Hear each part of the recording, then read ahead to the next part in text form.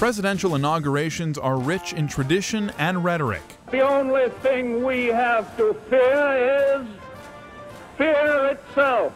And so, my fellow Americans, ask not what your country can do for you, ask what you can do for your country. President Barack Obama will become the 17th commander in chief to give a second inaugural speech. Obama will be sworn in twice, once in a private ceremony on Sunday when his term officially begins, and again in public on Monday. Believe it or not, the Constitution does not require the president elect to swear on a Bible, but it's been a tradition from the beginning thanks to George Washington.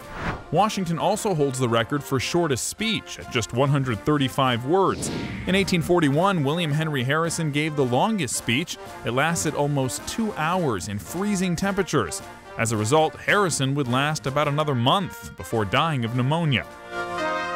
In 1925, Calvin Coolidge was the first president to have his inauguration broadcast live on the radio. Live television would follow in 1949 at Harry Truman's ceremony. Ricky, this is it. This is, this is it. With television also came competition. More viewers tuned in to watch an episode of I Love Lucy, where Lucy goes into labor, than watched Eisenhower's inauguration the next day. And more than 30 years after that, Reagan's private inauguration would fall on Super Bowl Sunday. He did the coin toss via satellite. It is tails. Now take all this presidential knowledge and go impress a few friends. For the list, I'm Ariel Wesler.